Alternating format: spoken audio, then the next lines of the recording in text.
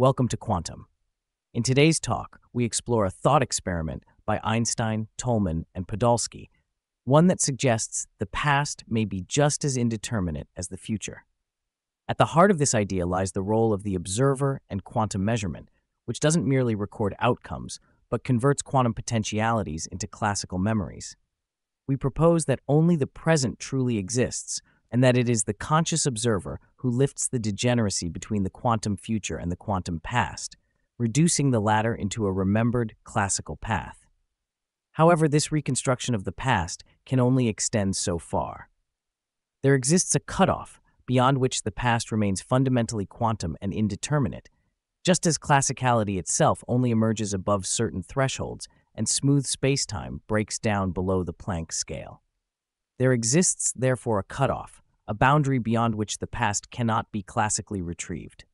This limitation is not arbitrary. It may arise from informational constraints, what data survives, thermodynamical constraints, increasing entropy and decoherence, or even cognitive constraints, limits of memory and perception. The indeterminacy of the quantum past may ultimately require deeper interpretations, linking to ideas such as the simulation hypothesis, Boltzmann brains, or the five minute universe. We hope to explore those questions in future episodes. This talk is divided into two independent parts. In the first part, we present a general overview of the Einstein Tolman Podolsky thought experiment and its underlying physics. In the second part, we offer a deeper analysis of the experiment's implications, exploring its conceptual foundations and physical consequences, particularly its challenge to the classical view of the past.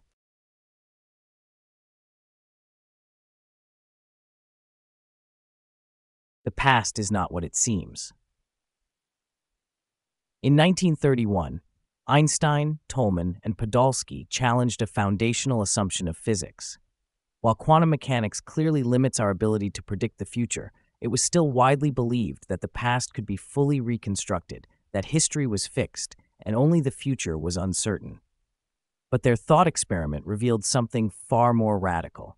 Using a simple setup, two particles emitted from a box, they showed that even the past becomes paradoxical when examined through the lens of quantum mechanics. The observer, they argued, could seemingly use measurements from the first particle to determine both the energy and arrival time of the second. But this would violate the energy time uncertainty principle because energy and time are non commuting observables in quantum theory. This paradox leads to a profound conclusion. Quantum mechanics imposes uncertainty not only on the future, but also on the past. Even history, it turns out, is subject to the same quantum limitations of measurement and interaction. If we strip away any special assumptions about observation, memory, or consciousness, we find that both past and future are merely potentialities, unrealized possibilities that only become actual through observation. This is the quantum worldview without observer centric metaphysics. And it resonates deeply with time symmetric interpretations of quantum theory, like the two state vector formalism, where past and future boundary conditions jointly inform the present. This challenges the classical intuition, still dominant today, that the past is real and remembered, while the future is unreal and imagined. Instead, quantum mechanics offers a time symmetric reality in which both past and future exist only as quantum possibilities, and both require observation to become real. The arrow of time is not fundamental, it is emergent, tied to the structure of the observer. It is the act of observation that converts a block universe into presentism, that turns quantum uncertainty into classical causality, that transforms the potential past into a remembered path. In this view, the observer does not merely record the past, they participate in its construction. Yet even this power has limits.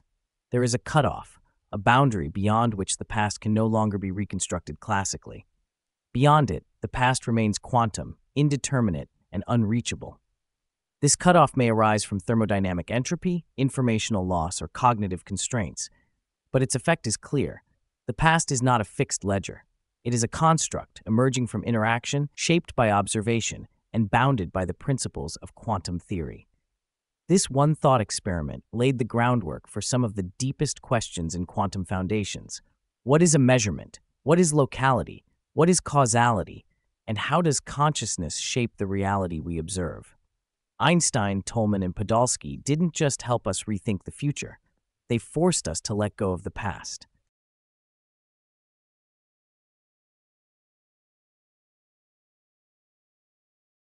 The Einstein Tolman Podolsky Experiment. In 1931, Albert Einstein, Richard Tolman, and Boris Podolsky proposed a simple but astonishing thought experiment. It wasn't about predicting the future, it was about something far more unsettling whether we can know the past. Their experiment can be divided into four parts. Part 1 The Setup. Imagine a small box filled with particles, all moving chaotically in thermal motion. This box has a tiny shutter, which opens briefly, just long enough for one or two particles to escape. These particles travel toward an observer positioned at a point we'll call O. In some instances, two particles are released simultaneously. The first particle travels directly to the observer. We call this the SO path, moving straight from the shutter to the detector. The second particle follows a longer path. It reflects off an ellipsoidal mirror before also arriving at the observer. This longer route is called the SRO path. Before and after the shutter opens, the box is weighed with high precision.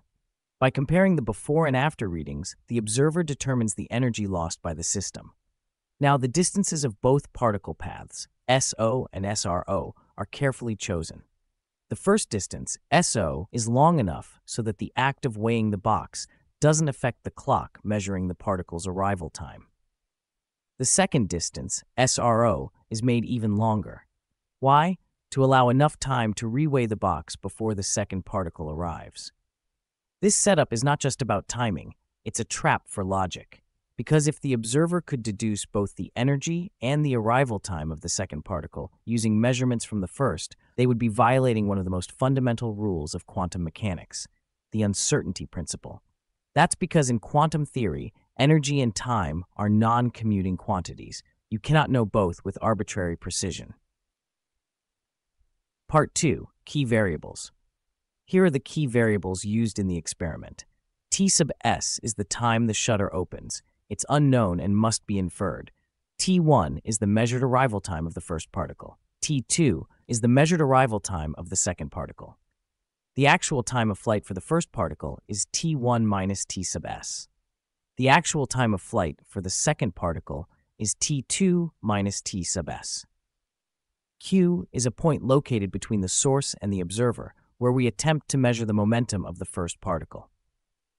T bar 1 is the inferred flight time of the first particle.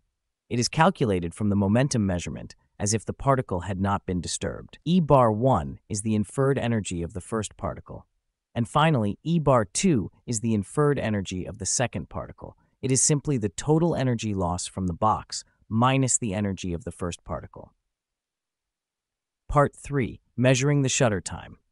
Here's how the observer attempts to determine when the shutter opened. Step 1 They measure the momentum of the first particle at point Q.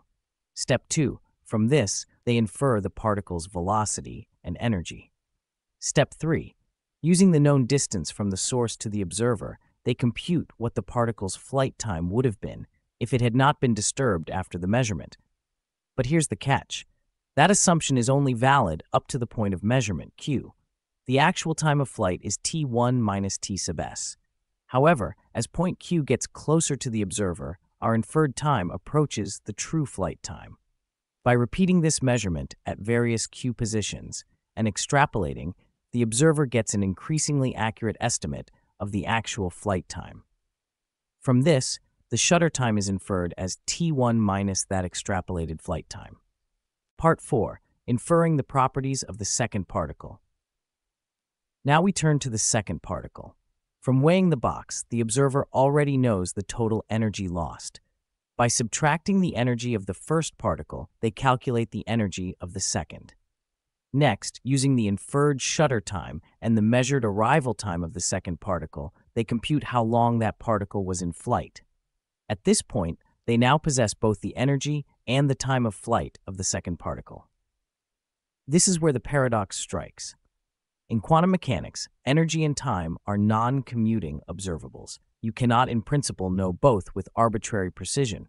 And yet, this setup seems to allow exactly that. It seems to allow us to reconstruct the past with classical certainty, but quantum mechanics tells us that's not possible. Resolving the paradox. The quantum past is fuzzy. So, how do we resolve the paradox? Einstein, Tolman, and Podolsky point us to the heart of the matter. And I quote The apparent contradiction disappears once we realize that the past motion of the first particle cannot be determined as precisely as we assumed. Let's unpack that. In quantum mechanics, there is no way to measure the momentum of a particle without disturbing it. Consider a seemingly clever method, like measuring the Doppler shift of infrared light reflected off a particle. It might tell us the particle's momentum before and after the interaction. But it leaves one crucial piece of information uncertain when that interaction occurred. You might know the particle's speed, but not its exact location along the path. And without knowing that, you can't say when the shutter opened.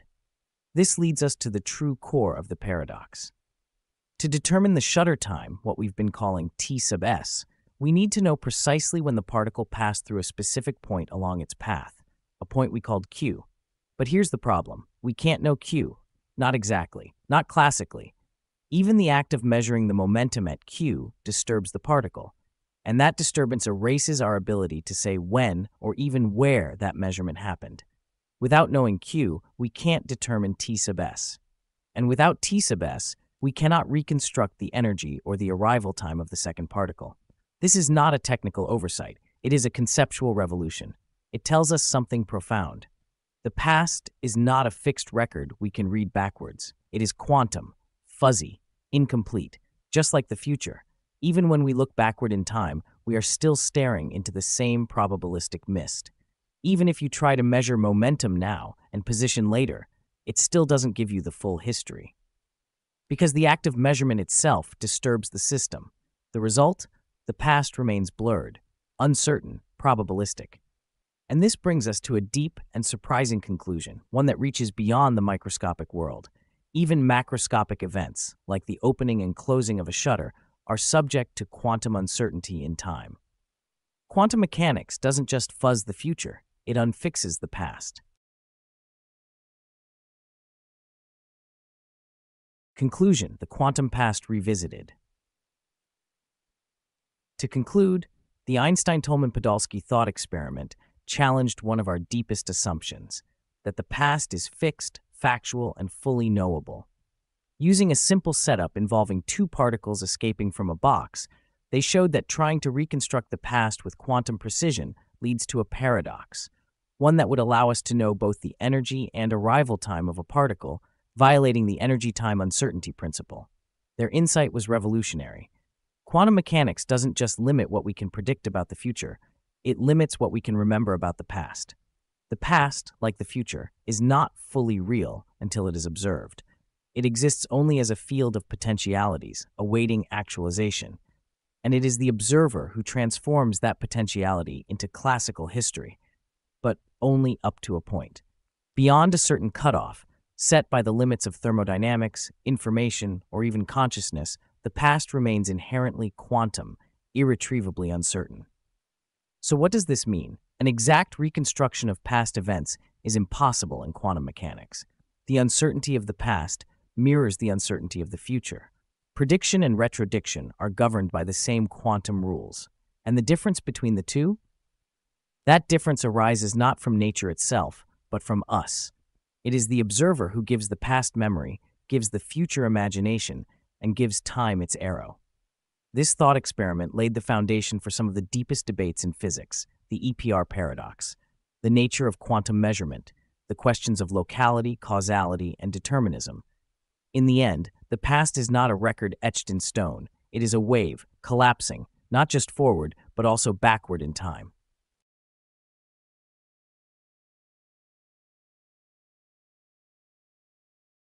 Thank you for watching Quantum.